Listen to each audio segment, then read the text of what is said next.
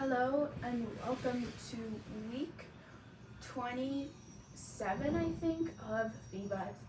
Guys, this is our last week, so yeah, I'm kind of sad. I didn't think I'd be sad, but this is our last week of Vivas, and then I gotta study all these videos and um, memorize all them, so exciting stuff.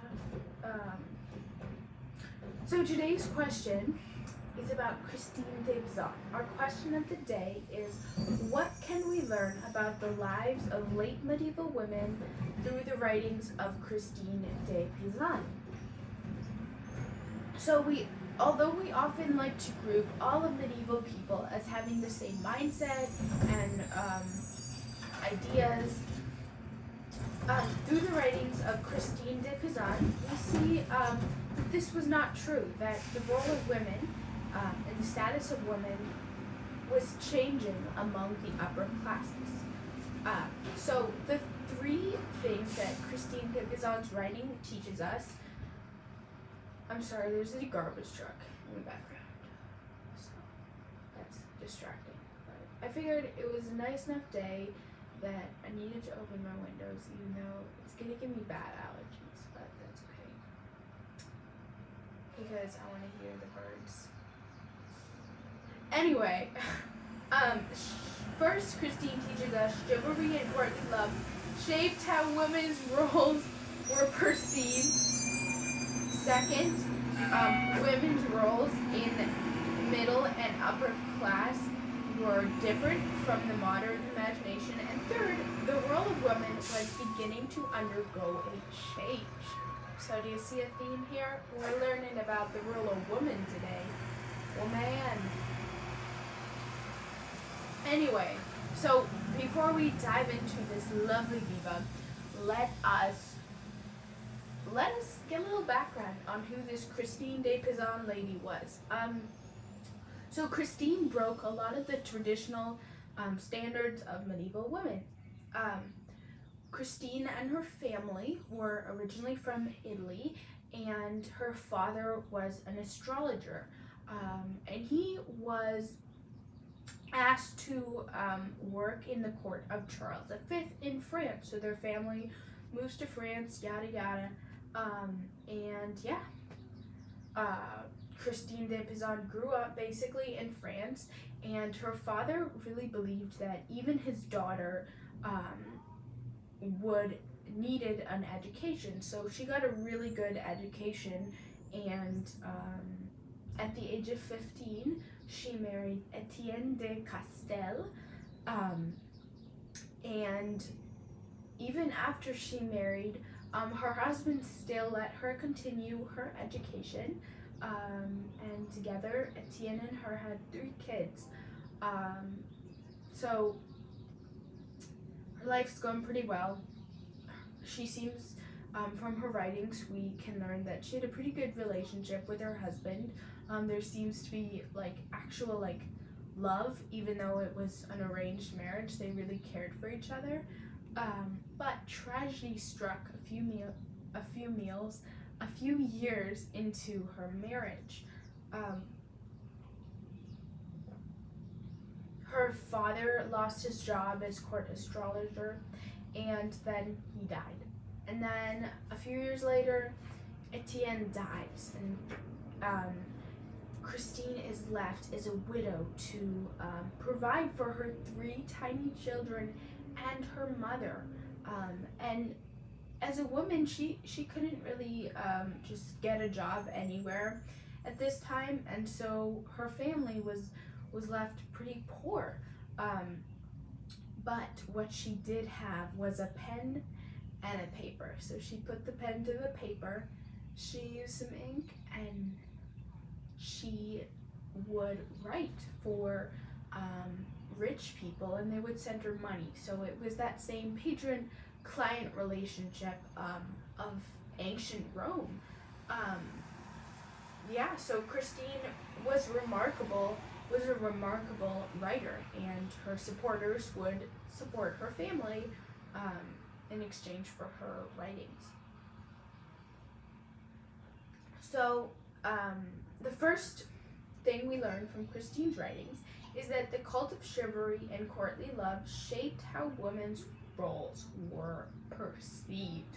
So, what you may ask is courtly love and the code of chivalry? Um, so, the chivalry or the code of chivalry in the late medieval Middle Ages um, emphasized social and moral virtues and piety and charity, um, and it established a notion of honor and nobility amongst um, the upper class men and knights.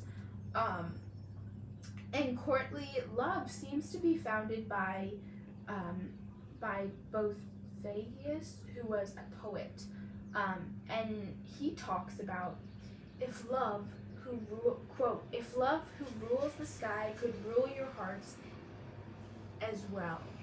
Um, and this is an example of um, the spiritual force of love according to Boethius, Boethius, Boethius, Boethius, um, who basically is saying that um, love, or the spiritual force of God, which is love, um, rules over the earth.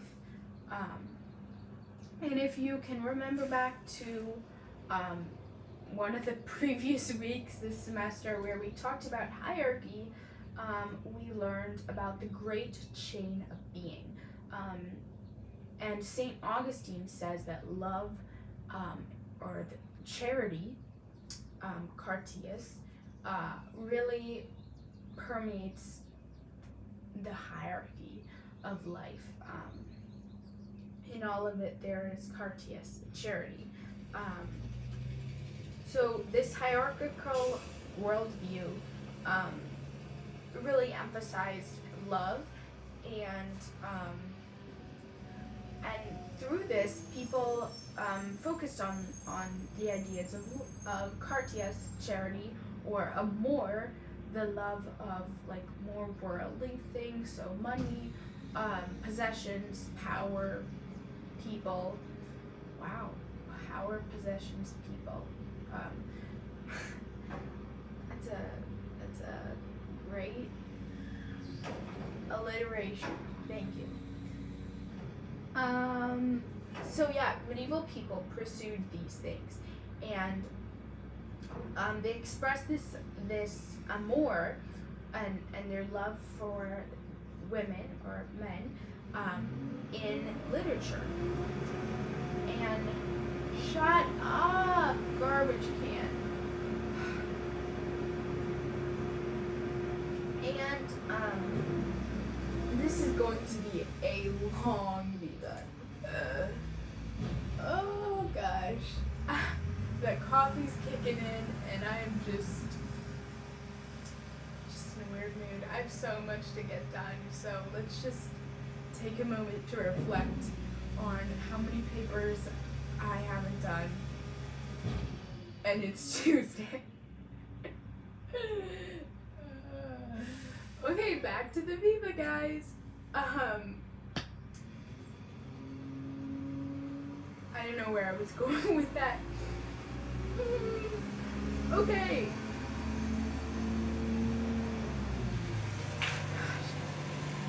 Um, so basically courtly love um, was this construct of the medieval world and um, it was really expressed in literature. Um, and it was the expression of knightly worship towards um, a woman and this woman was the object of affection. Um, Par- Dr. Parker says, quote, the act of loving was in itself ennobling and refining the the man of fullest expression of what was potentially know what I was on when I was writing this, but I can't read a thing. Was potentially un So basically, um, this act of loving the woman was refining for the man. It was um, it was an experience that he went through, and um, Yeah. Um, and let's go back to the hierarchy for a sec. So we talked about hierarchy and love being kind of connected. Um, well, if we remember the feudal system, um, feudalism focused on the lord and the vassal. Um, in a similar way, we see this embodied in um, the relationship between a lover and his his lady. Um, so yeah, there was this idea of obey, like you would obey your lord if you were vassal, you would obey and serve your lady um, as you were her lover. So there's this analogy and comparison between lord and vassal and um, lady and lover, where the lady was put in this esteemed position um, to be obeyed and served and was kind of this like heavenly celestial being um, that was like placed on this pedestal for her lover to worship. And in courtly love, there didn't necessarily need to be um, any. It was more like a respect for the lady than it was like you're gonna like have sex with her. Um, and usually the lady was married. So in courtly love, um, there was this like it was like a game of love basically. So um, this married this lover would be like in love with a married woman, um, and it would create this love triangle and this this jealousy and all this that was supposed to um, was all part of courtly love. Um, I don't know if I'm explaining courtly love at all, but makes sense in my mind.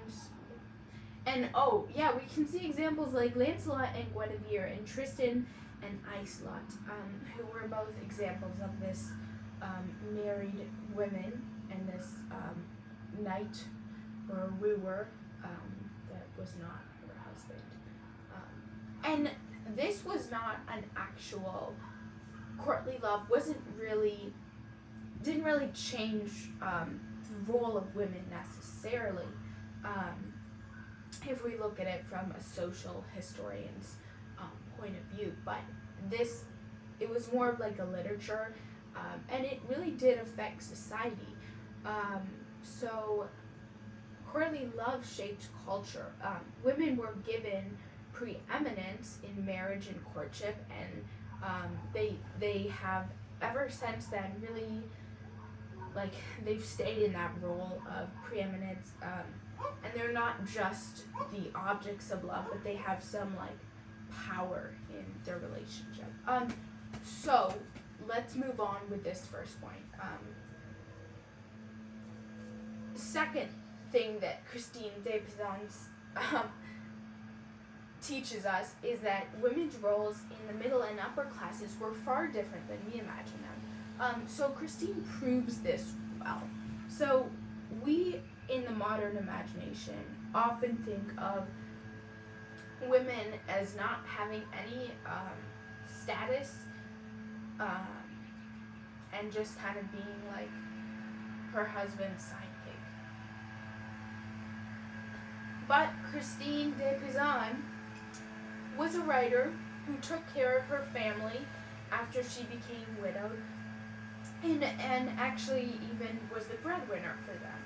Um, and Alexei Bovy says um, there were some women who exercised power, providing a challenge to the stereotypical image of medieval women as oppressed and subservient.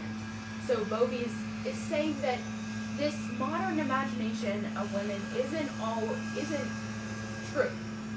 Um, and Christine talks about. Um, she says, "quote One day, I w- as I was sitting alone in my study, surrounded by books on all on all kinds of subjects, devoting myself to literary studies, my usual habit, my mind dwelt at length on the weighty opinions of various authors whom I have studied for a long time. So we see Christine in a study, something you often don't imagine when you're thinking of medieval women. Um, so, secondly, we learn from Christine's writings that the role of women in middle and upper classes were different than we imagined. And then the third thing that we learned is that the role of women was undergoing a period of change. So, um, the 15th century woman had many, many rights. She could own property. Um, she could be a business owner. She could divorce her husband if he was not, if he was mistreating her. And um, there were examples of women scholars, writers, um, warriors, and businesswomen in the medieval 15th century. That is so loud. I'm so sorry, Sarah.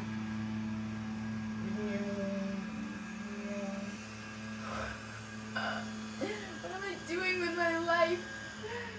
Ah! Um, so, yeah, women had roles of power in the 15th century. Um, and women had a really big impact on society. Um, things uh, we can see the role of women in that. It used to be just a method of training, um, but later there was music and it was kind of like a dance. Uh, and yeah, the court, the royal courts um, focused a lot more on the arts. So music and poetry and fashion and, and cuisine all were focuses of the royal courts. And then um, women took places of power. So in England in 1390, 1397, Margaret Marshall was made a duchess in her own right by Richard II. So she had a place of power in 1397. So write that down in the history books. Um, and, and one reason why we see this profound impact in the role of women was the Black Plague or the Black Death um, or the Great Plague or whatever you want to call it. Anyway, this really profoundly impacted the role of women because um, with such decimation of the population, hey, that rhymes. Decimation of the population. No, that doesn't. Never mind. Um, women were forced to take on the roles that men used to be allowed to do um, occupations. Yeah, so occupations that only men were allowed to do before um, women had to, out of necessity, um, take on these roles because they were a lot less people. Um, so, and after the printing press, after Gutenberg invented the printing press, there was a lot more literacy. Um, and there was a need for literacy in places like England where they needed um, people to read court documents, and this allowed for the education of women. Um, so, yeah, this almost spilled my coffee again. That would be fun. It would go back to Hildegard again. Um, but yeah, we see this role, the role of women changing, and the male attitude um, that once permeated society, the male attitude that women were corruptors of men and therefore needed to be kept in check by men, um, was questioned during this time period. And Chris, Christine, Christine, uh, Christine also um, objected to this idea of women as correct corruptors of men and she writes, quote, no matter which way I looked at it, and no matter how much I turned the matter over in my mind, I could find no evidence from my own experience to bear out such a negative view of female nature and habits. So Christina Woman herself is saying all these men have been writing for years and generations that women are corruptors of men, but in my own experience as a woman, this isn't true. Um, so Christine challenges this this view of women. Um, so through Christine's writings, we learn about the late medieval ages. We learn three things. First, that chivalry, the cult of chivalry and courtly love shaped how women's roles were perceived. Um, second, uh, women's roles in middle and upper classes were different from the modern imagination. And third, the roles of women were undergoing a significant change during this time period. Guys, I just keep, it just keeps getting weirder and weirder. These Vivas just have gone downhill. They used to be like serious. I used to retake my Vivas if I messed up, but now I don't really give a crap anymore. So, yeah, that's fun. Hope you guys are having a great week. Um, stay safe, stay healthy, drink lots of coffee, keep sane, you know, do what you gotta do. Bye.